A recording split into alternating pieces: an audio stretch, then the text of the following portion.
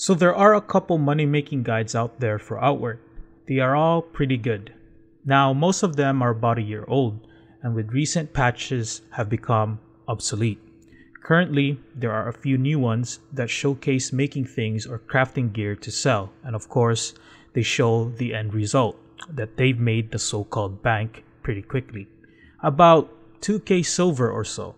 However, what they've omitted is the amount of time necessary to make that bank. By that, I mean getting the materials, killing the monsters, and then running to the specified place in the guide to grab that check. If you are adulting in life like me, that means you have less time to probably do these crafting runs. And with the new DLC, you will need a lot of money in a short span of time for your city. So let me try to improve on that. I understand that there are multiple stages in the game the beginning, middle, and end. For now, I will show you an endgame money making guide, and the line for endgame for me is the point where you hit or are able to start the Sirocco questline. I hope you find this guide useful. And also, to my viewer Mashi, this video is for you. Hopefully, this guide helps you in cutting down the amount of time needed to grind for materials for your city when you get the Three Brothers DLC. Have fun! For this method to work, you will need to have access to the Three Brothers DLC and have progressed enough where you gain access to New Sirocco.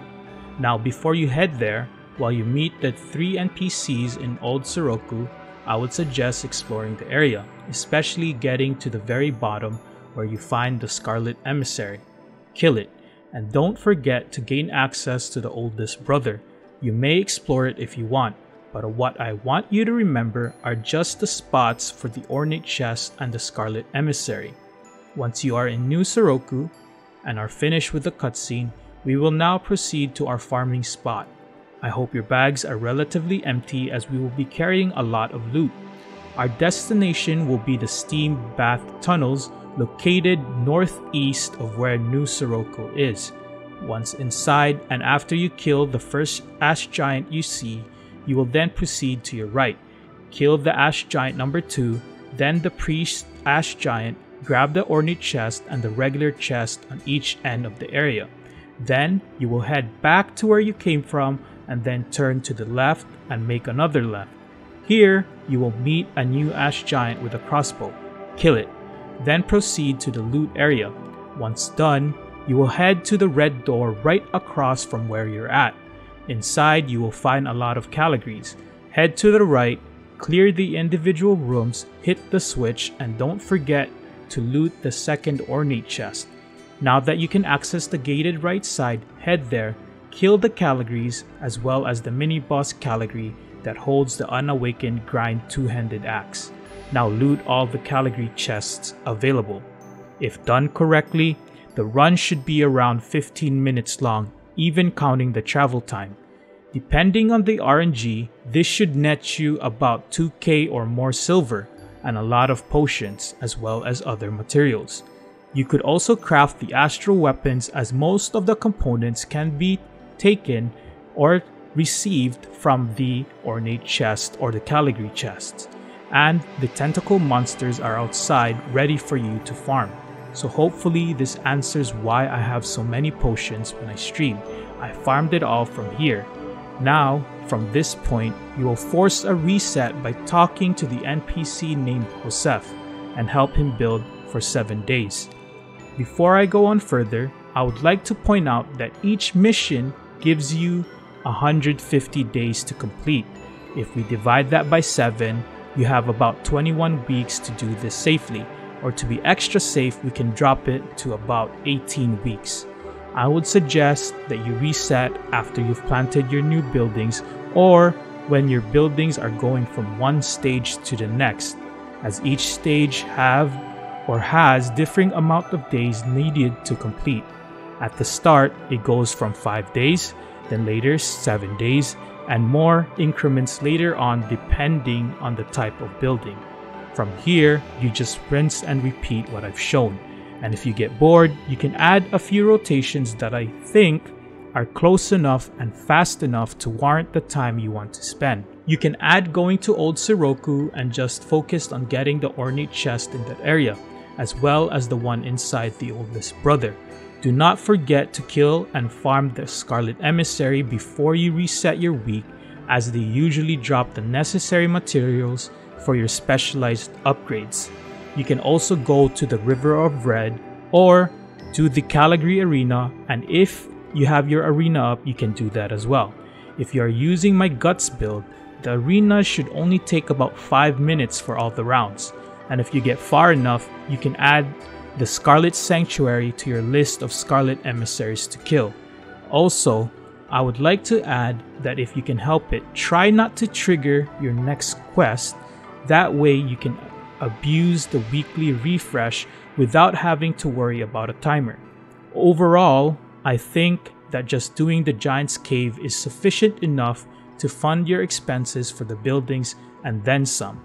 Hopefully, this helps anyone out there who has a short amount of time to play and don't want to spend one hour or more just grinding for a measly 2k silver.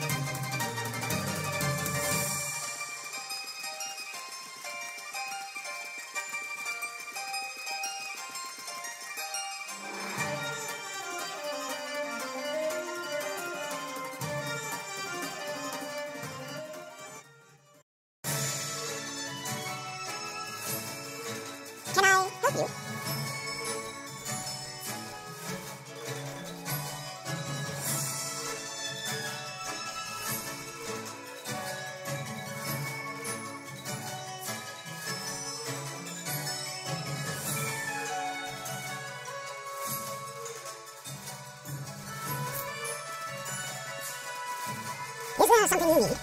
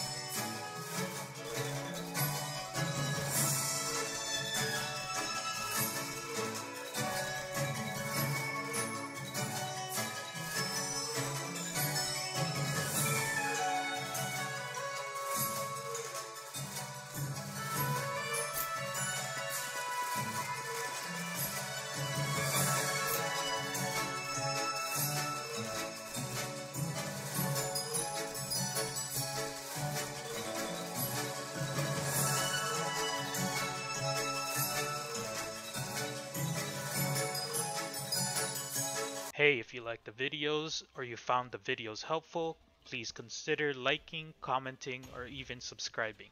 Feedback of any sort will also be appreciated and helps me create better videos. So once more, stay crazy and